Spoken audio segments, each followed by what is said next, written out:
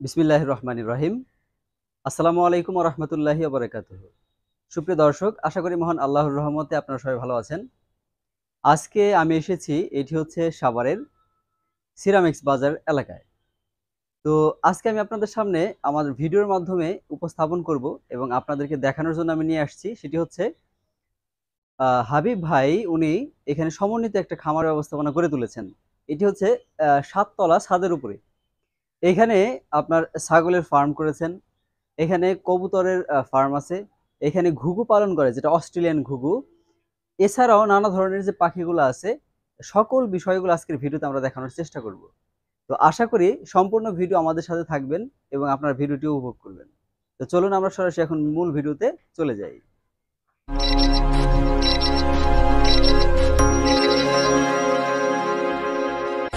আসসালামু আলাইকুম। ওয়ালাইকুম সালাম রহমতুল্লাহ বারকাত। আপনি কেমন আছেন? আলহামদুলিল্লাহ। তো আমাদের দর্শকদের জন্য প্রথমে একটু জানতে চাইব আপনার সামনে যে ছাগলটি আছে আপনার হাতে ধরে আছেন এটা কি জাতের ছাগল? এটা গুজরি জাতের ছাগল।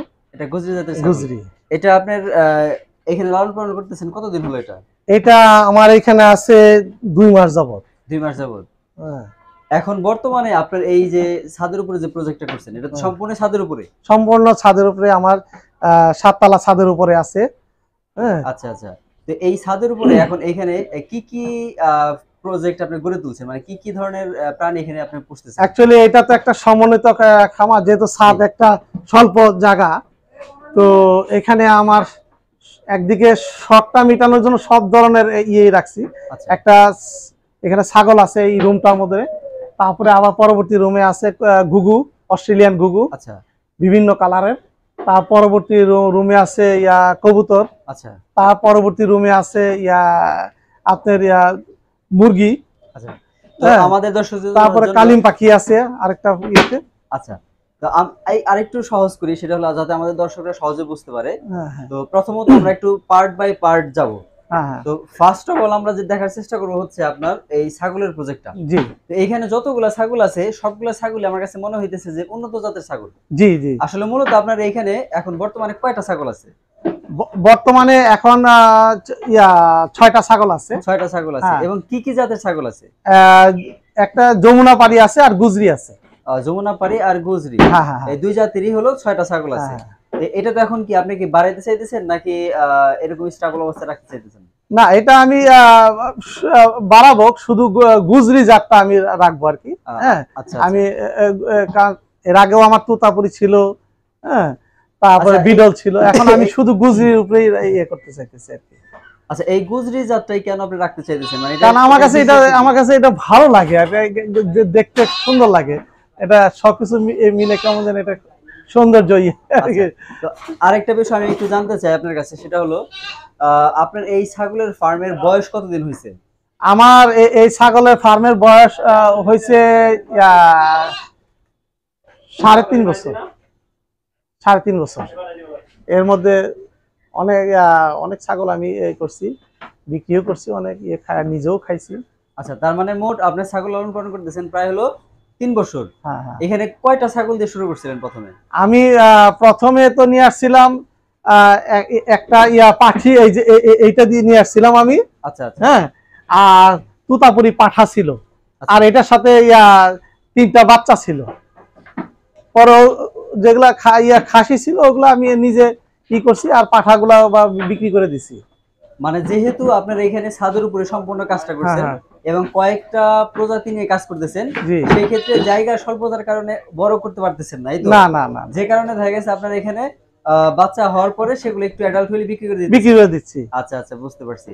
তো আমাদের দর্শকদের জন্য একটু বলবেন এই যে যে ছাগলটা আপনার সামনে এখন আছে। বর্তমানে এইটা এইগুলোর দাম কীরকম? মানে প্রাইস কীরকম? একটা পাঠার দাম কীরকম বা একটা ছাগের দাম কীরকম হয়?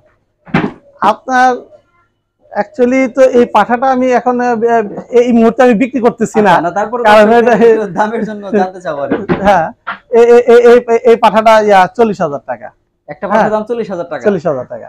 আচ্ছা আচ্ছা আচ্ছা। হ্যাঁ। আর বাকি আপনার যদি ই হয় সাগি হয় সেক্ষেত্রে তাদের তার দাম কীরকম যায়? ছাগি আপনার এক একটা ছাগি এক একটা ইয়ার দাম আছে। আপনার বুই আহ, তার উপরে নির্ভর করে। নির্ভর করে। বডি গঠনের উপর আচ্ছা আমাদের যেহেতু আপনার এখানে হ্যাঁ। দুই জাতের সাগি আছে আমাদেরকে একটু দেখান যে কোনটার দাম কীরকম? আমার এই এটা হলো যমুনা পানি। এটা এটা এখন পাঁচ মাসে প্রেগনেন্ট এটা হয়তো ইয়াতে এটা হলো এটা হলো যমুনা পারি হ্যাঁ এটা এটা পাঁচ মাসের প্রেগনেন্ট আছে হ্যাঁ এবং এটা যমুনা পানি কিন্তু এটা পেটে গুজরির বাচ্চা। আচ্ছা আচ্ছা আচ্ছা আচ্ছা। এটার প্রাইস যাবে এখন বর্তমানে? এ- এ- এ- এ- এ- এইটা এখন যেহেতু বাচ্চা পেটে হ্যাঁ জি জি। তো এটা আমি দাম চাচ্ছি হলো তেইশ হাজার টাকা। তেইশ হাজার? হ্যাঁ তেইশ হাজার টাকা দাম চাচ্ছি। কারণ যেহেতু বাচ্চা পেটে আর অল্প কিছুদিনের মধ্যে পরে এটা বাচ্চা হবে। এগুলো কয়টা করে বাচ্চা হয়? এটা এটা তিনটা করে বাচ্চা। এটা সবসময় তিনটা করে বাচ্চা তিনটা নিচে এখনও আমি পাই নাই। আচ্ছা আচ্ছা। আর ওই যে আপনার। ওইখানে যে কালো আর ছাগল যেটা এ- আছে, এটা এটা যেটা আছে এটা যমুনা পাড়ি হ্যাঁ। এটা যমুনা পাড়ি এটা এটা বয়স এ- এ, আহ, সাড়ে নয় মাস। এটা এখন প্রেগনেন্ট হওয়ার সময় হয়ে আসছে। এটার বয়স সাড়ে নয় সাড়ে নয়- সাড়ে নয় মাস। এটা যমুনা পাড়ি। এই কালোটা? যমুনা সাড়ে- নয় মাস। সাড়ে নয় মাস বয়স এখনও প্রেগনেন্ট হয় নাই তবে ইনশাল্লাহ হয়ে যাবে খুব এটা কি আপনার এখানে বাচ্চা হয়েছিল এটা এখানেই বাচ্চা হয়েছিল এটা এখানকারই বাচ্চা। এটা এখানকারই বাচ্চা। এটা বাচ্চার হ্যাঁ। বয়স হলো সাড়ে নয় মাস। সাড়ে নয় মাস। আর বাচ্চা মূলত আপনার একটা ছাগল প্রেগনেন্ট হয় কত বছর মানে কতদিন বয়স হওয়ার পর? এইটা হয়তো কি কিছু বাচ্চা বডি কখনো এক বছরও লেগে যায় কখনো নয় মাসও লাগে আবার কখনো দেখা যায় দশ মাসও। আমার কিছু এ- এ সাড়ে এগারো মাসে বা বারো মাস হয়েছে আবার কিছু দেখা যাচ্ছে নয় মাসে হয়ে গেছে। আচ্ছা আচ্ছা আচ্ছা। হ্যাঁ। আপনি এইটার বিষয়ে কি বলবেন? এটা কতদিন পরে? এটা এটা এখন আমি দুদিন যাবত দেখতেছি একটু পাঠার সাথে দেখতেছি। আমার মনে হয় আচ্ছা, খুব আচ্ছা, অতি সত্তর এটা কনসেপ্ট করবে আপনি কি। কি এটা কি বিক্রি করতে চান? হ্যাঁ এটা বিক্রি করতে চাই। বিক্রি করতে চান? হ্যাঁ হ্যাঁ এটার দাম কীরকম চান? এটা এটার দাম এখন আমি চব্বিশ হাজার। টাকা চাইছি। এই কালোটার দাম? হ্যাঁ হ্যাঁ তারপরে আলোচনা ইয়েতে সাপেক্ষে যা হয়। বুঝতে পারছি। হ্যাঁ। আপনার ছাগল প্রত্যেকটা স্বাস্থ্য ভালো প্লাস আপনার দেখা গেছে সব ধরনেরই হ্যাঁ। গ্রোথ গ্রোথ ভালো। হ্যাঁ হ্যাঁ। আর আরেকটা বিষয় আমাকে একটু বলবেন নর্মালি আপনার এই তিন বছরে আপনার এই প্রজেক্টে মানে ছাগলের খামারের ক্ষেত্রে এখানে কি কোনো রোগ বালাই হয়েছে এই পর্যন্ত? না আমি রোগ বালাই হওয়ার আগেই আমি সবকিছু খুব খুব সতর্ক। আচ্ছা আচ্ছা। এই দিক দিয়ে রোগ বালাই কোনো ই নাই হ্যাঁ আলহামদুলিল্লাহ। কারণ আমি এতই সতর্ক যে প্রতিটা ভ্যাকসিন আমি আগে আগে দিয়ে রাখি। পিপিআর ভ্যাকসিন তারপরে আপনার অন্যান্য যে সমস্ত মেডিসিনগুলা জিঙ্ক টিঙ্ক সবই আমি ক্যালসিয়াম ইয়া সবই আমি করি।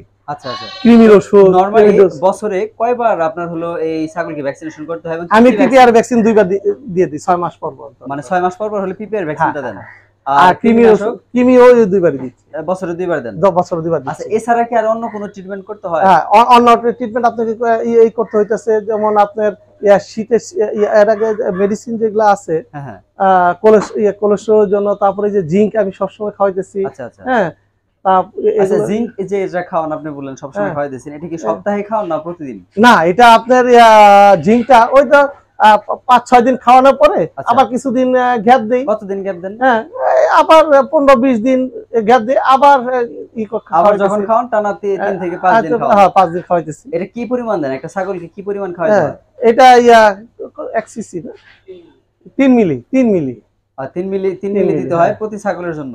এটা কি পানির সাথে মিশিয়ে দেন না এমনি না এমনি এমনি সিরিঞ্জ দিয়ে ওর মুখে দিলে ও নিজেই চুষে খেয়ে। আচ্ছা এইটার এটা খাওয়ানোর মানে আপনার ইটা কি? মানে লাভটা কি? মানে খামারে কেন খাওয়াবে? এটা এটা খাওয়াইলে হয় কি আপনার এটা হেলথটা ভালো থাকে তারপরে আপনার যে ইয়ের আচ্ছা ইগুলা বডি গ্রোথ ভালো থাকে। আচ্ছা আচ্ছা হ্যাঁ এবং কনসেপ্ট করে খুব তাড়াতাড়ি আমাদের দর্শকদের জন্য আরেকটা বিষয় বলবেন আমি অ্যাড হ্যাঁ। করতে চাই সেটা হলো এই ছাগলগুলোকে আপনি কি খাবার দেন? মূলত খাবার কি? এই ছাগলগুলাতে আমি আহ, গমের ভুসি দিতেছি ছোলা ভুসি দিতেছি আহ, বুট ভুসি দিতেছি আবার মাঝে মাঝে আমি ধান খাওয়াইতেছি।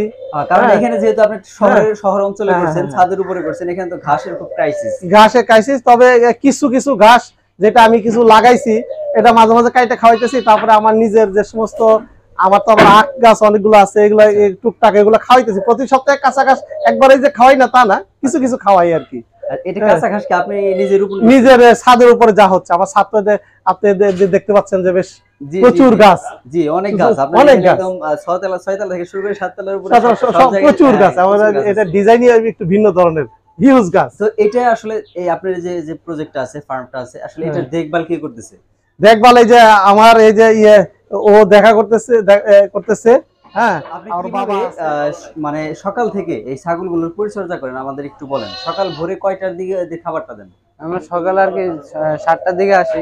আচ্ছা। সাতটার দিকে আসে সাড়ে সাতটা বাজে আর কি সাতটার দিকে আসে পরিষ্কার করি পরিষ্কার করে পরিষ্কার করে সাড়ে সাতটা বাজে সব দিকে খাওয়ানা দিয়ে আর কি খাওয়ানো আচ্ছা আচ্ছা। খাওয়ান দেওয়ার পর আবার সব দিকে খাওয়ান দেয় আর কি সকালবেলা কি খাবার দেন? ওই যে ভুসি। ভুসি আর কি? ভুসি দিয়ে দেয় শুধু ভুসি? হ্যাঁ। এটা কি একদম পানির সাথে মিশিয়ে দিতে হয় না একদম শুকনো দিই শুকনা দেন? হ্যাঁ। তারপরে কি পানি খায়? হ্যাঁ পানি খায়। তারপরে মানে একটা ছাগলের জন্য কতটুকু ভুসি দেন? একটা ছাগল না সব মিলাই খাই আর কি দিয়ে একটু হাফ গামলার মতো হাফ গামলার মতো? আনুমানিক দুই কেজি। দুই কেজি হবে? দুই কেজির মতো হবে। যখন সকালে খাবারটা শেষ হলো তারপরে আপনার কার্যক্রম কি থাকে? কার্যক্রম আবার বিকাল আসে। আবার বিকেলে খাবার দেন। মানে ওইরকম তিন বেলা। পরিচর্যা করতে হয় না। মানে তিন বেলা খাবার দেন। হ্যাঁ। সকালে একবার আবার দুপুরের দিকে একবার দুপুরে কয়টার দিকে দেন খাবার? দুপুরে যে আপনার একটা। একটার দিকে। আবার বিকেলে আসরের পরে নাকি? আসতে পারে এই তিন বেলা শুধু খাবার দিতে হয়। হ্যাঁ। এছাড়া আর পয় পরিষ্কার রাখা আর তো কোনো পরিচর্যার কোনো বিষয় নেই। না। তার মানে একজন খামারি খুব সহজেই ছাগল পালন করতে পারবে। হ্যাঁ। আচ্ছা ঠিক আছে ধন্যবাদ আপনাকে। তো চলেন আমরা দেখি আপনার আর কি কি প্রজেক্টগুলো আছে। আমরা তো ছাগলের এটা দেখলাম। হ্যাঁ, তো। এরপর আমাদের কোনটা দেখাবেন? এরপরে ঘুঘু অস্ট্রেলিয়ান ঘুঘু। অস্ট্রেলিয়ান ঘুঘু। আচ্ছা চলেন আমরা অস্ট্রেলিয়ান ঘুঘু দেখে আসি।